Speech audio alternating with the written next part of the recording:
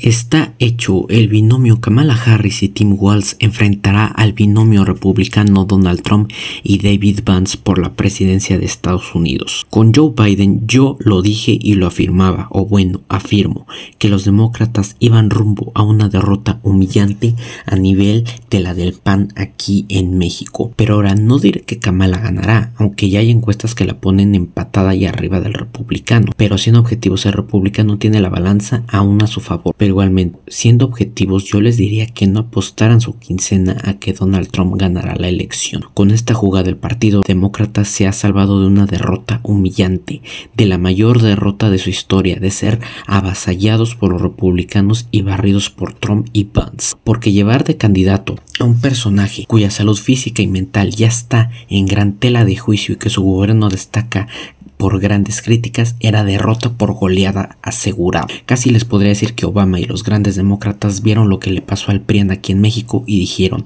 cambiemos de candidato para mínimo ahorrarnos que barran el piso con nosotros. Es importante, muy importante recordar que en Estados Unidos están los colegios electorales. Quien gana en ellos gana la elección, aunque no gane en voto popular. Yo repito, no digo que ganara Harris, solo digo que ahora sí, de que hay tiro, hay tiro por la Casa Blanca.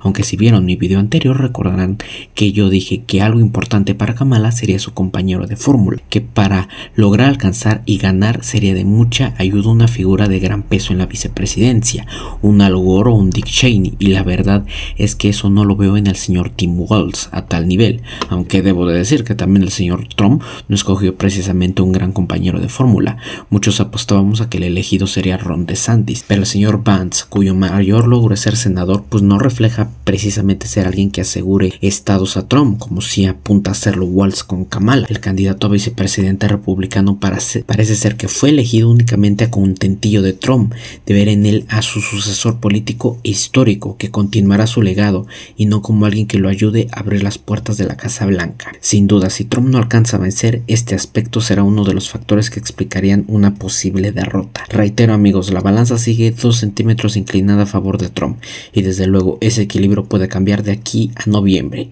Y lo repito, hay tiro entre Harris Walls y Trump Vance. Hay tiro por la Casa Blanca.